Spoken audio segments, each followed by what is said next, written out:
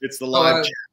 So uh, uh, the name Invisible Gardener has three different stories because I don't, I swear, I don't remember exactly how it happened. But during that time, I also heard about Findhorn. You ever hear about Findhorn?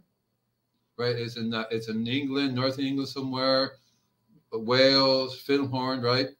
And Findhorn is a place where basically these people connect with the angels and the garden spirits, and they help them to grow and stuff, right?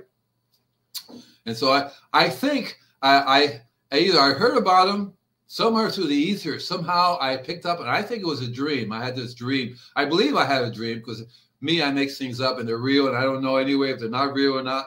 But I had this dream, which basically said, You're the invisible gardener. You got to heal the earth. I said, Cool. okay. You know, but then as I do these things, I found out who the real invisible gardeners are. They're the microbes uh, what's it? Ken, I was talking about it's the biology, right? It's the micro. I call it microbes biology. Same thing, right? Biology, living organism. And when I say the soil is dead, it's not really dead because I tell people um, that just means that the good guys are not there. The bad guys are there. You can have the good guys and the bad guys in the same place. You know what I'm saying, right?